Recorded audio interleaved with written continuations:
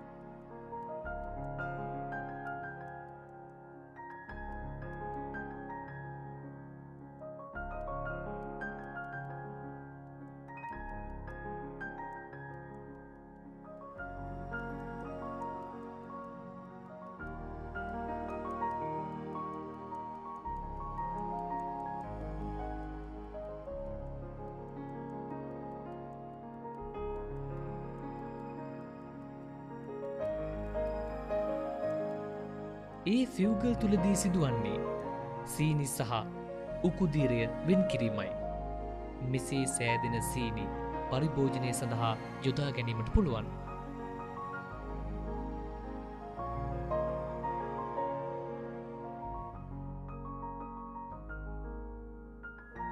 ඒ ෆිව්ගල් තුළින් පිටවන උකුදීරය ඒ මොලෑශස් ලෙස හඳුන්වන අතර එය බී පෑන් වෙත යොමු කෙරෙනවා. ඊට අමතරව සී අධීරයේදී සෑදෙන සීනි කැටද බී පෑන් වෙත යොමු කෙරෙනවා.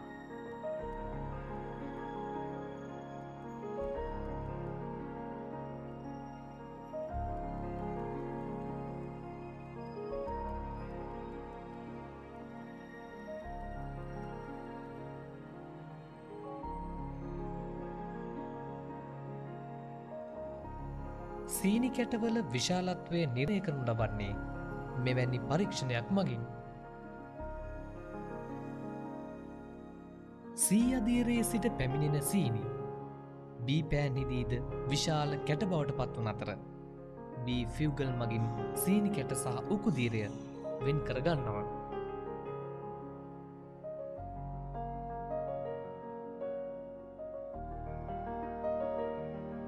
වෙන්කරගත් සීනි කැට මුලින් සඳහන් කළ පරිදි ඒ පෑන් වෙත යොමු කරනවා.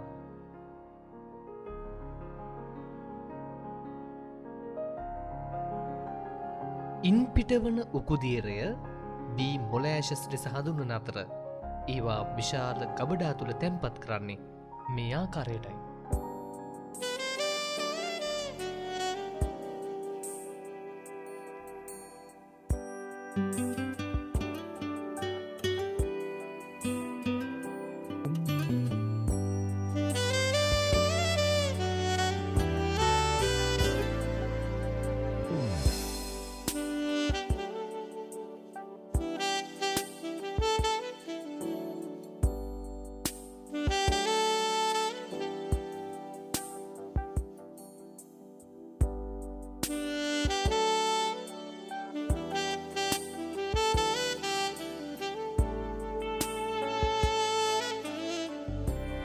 එක්රැස් කරගත් බීමොලෑශස් සීපෑන් වෙත යොමු කරන අතර කලින් සාදාගත් ඉතා කුඩා සීනිවර්ගයක් වන සීසීන් නැමැති සියුම් සීනි කැටද සීපෑන් වෙත එක් කරනවා.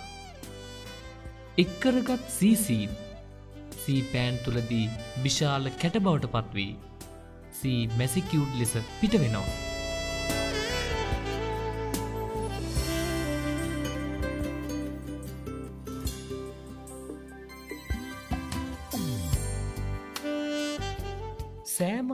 වෙනවා. සෑම අධීරකදීම සීනි කැටවල විශාලත්වය මෙන බලනවා. සාමාන්‍ය සීපෑන් වෙනුවට පැළවත්ත සීනි කර්මාද ශාලාවේ නව තාක්ෂණින් යුත් වැැකියුම් පෑන්ද සීසීනි සැකසීමට යොදාගන්නවා. සී අධීරයේ තවත් විශේෂත්වයක් වන්නේ සීපෑන් සහ සීෆිව්ගල් අතර ඇති ක්‍රිස්ටලයිස පද්ධතියයි. එමගින් සීපෑන් තුළ නිපදවන සීනි තවතුරටත් විශාල කරනු ලබනවා.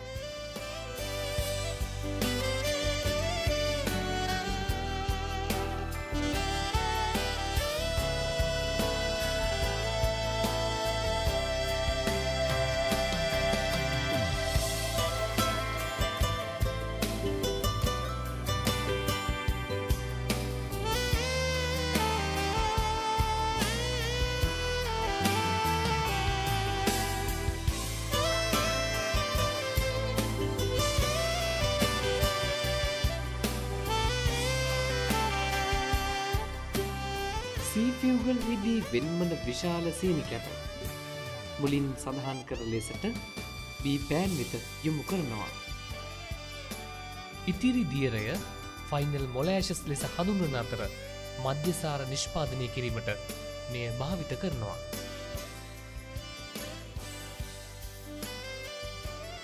ඒ පෑන් හිදී නිෂ්පාදනය කරනු ලබන සීන් වියලීමෙන් අනතුරුව ඇසුරුම් ක්‍රියාවලියට යොමු කරනවා.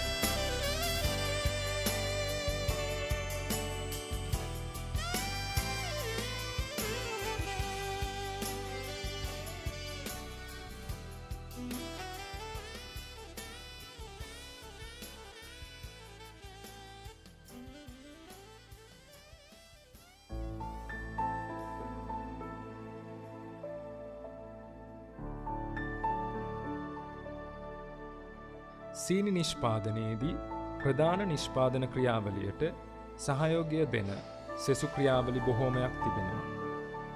ඉන් ඉතා වැදගත් ක්‍රියාවලියක් ලෙස රික්ත පද්ධතිය හැඳින්වෙනවා. ඉවපොරේට පද්ධතියට අවශ්‍ය පීඩන වෙනස පවත්වා ගැනීමට මෙම රික්ත පද්ධතිය උපකාරී වෙනවා. මෙහි දැක්වෙන්නේ රික්ත පද්ධතියේ ඇති බැරෝමැටික් කන්ඩෙන්ස පද්ධතියයි. මීට අමතරව බැරෝමැටික් කන්ඩෙන්සරයේ ඉහළ සහ පහළ උෂ්ණත්ව වෙනසක් තබා ගැනීම සඳහා කූලින් තව හෙවත් සිසිලන කුළුණ යොදා ගැනෙනවා.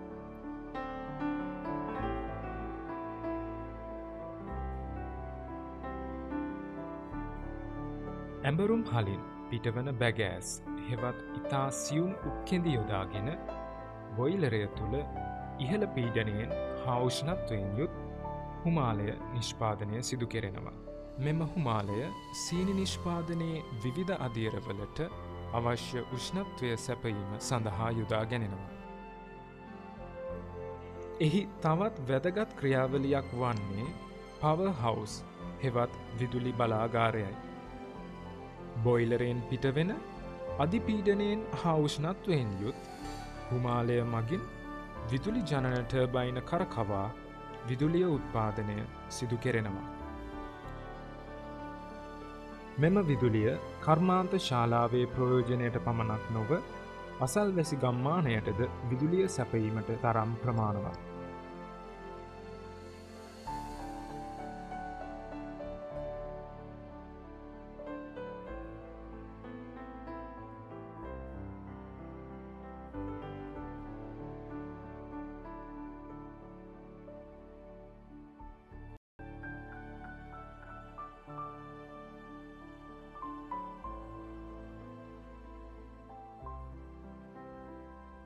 නිෂ්පාදන ක්‍රියාවලියේදී කාර්යක්ෂමතාවය මෙන්ම සේවක ආරක්ෂාවද ඉතා වැදගත්. ශ්‍රී ලංකාව වැනි දියුණුවමින් පවතින රටවල් නිෂ්පාදන ක්‍රියාවලියේදී සේවක ආරක්ෂාව පිළිබඳ සම්මතයන් භාවිතා කරන්නේ සුළු වශයනි. මේ සඳහා ඒ ඒ නිෂ්පාදන අධීරයන්ට ගැලපෙන පරිදි හිස්වැසුම් අත්වැසුම් මුව ආවරණ සහ ඇඳුම් ආයිත්තම් පැළඳීම ඉතා වැදගත් වෙනවා. මේ සඳහා සේවක ආකල්ප මෙන්ම නිෂ්පාදන කළමනාකාරිත්වයේ කැපවීමද වැඩි දියුණු කළ යුතුව තිබෙනවා.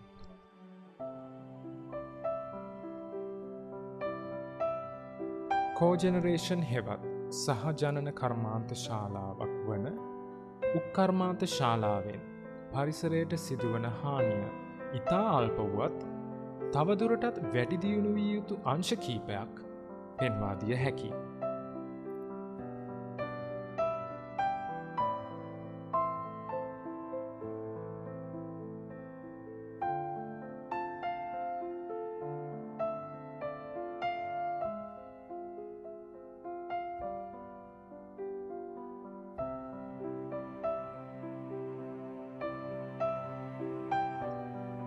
බොයිලේරුවෙන් පිටවෙන ෆ්ලයිඇෂ් මගින් සිදුවන වායු දූෂණය උදාහරණයක් ලෙස දැක්විය හැක. මෙසේ පිටවෙන ෆ්ලයිඇෂ් වාතයට මුසුවී විවිධ ස්ථානවල තැන්පත්වීම සුලබව දක්නට ලැබෙනවා.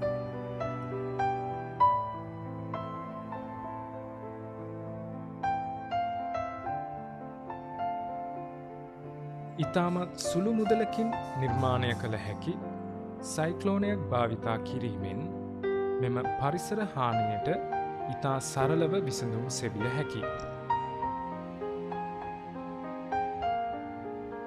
ශ්‍රී ලංකාව වැනි බලශක්ති අර්බුදයක් පවතින රටක මෙවැනි සහජනන කර්මාන්ත ශාලා ඇති කිරීම රටේ ආර්ථිකයටද මහත් රුකුලක් සපයනවා.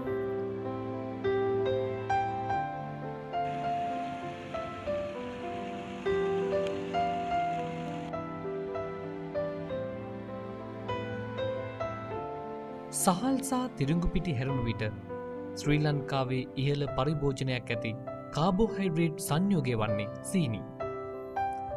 වාර්ෂික ඉල්ලුම මෙට්‍රික් ටොන් පන්ලක්ෂ පනස්දහසක් පමණුවත් ශ්‍රී ලංකාවේ නිෂ්පාදනය කරන්නේ ඉන්සීට දහයක් පමණයි. මේ නිසා වාර්ෂිකව රුපියල් මිලියන දොලාක පමණ මුදලක් පිටරට ඇදී යනවා. වර්ෂ දෙදහස් විස්ස වන විට ශ්‍රී ලංකාවේ සීනි ඉල්ලුම මෙට්‍රික්ටොන් මිලියන දහය ඉක්වවීමට ඉඩ තිබෙනවා. අතිවිශාල ජාතික තනයක් ඉතිරිකර ගැනීමේ අරමුණ පෙරදැරිව ශ්‍රී ලංකාවේ සීනිකර්මාන්තය දියුණු කිරීම අපි සතු යුතුකමක්.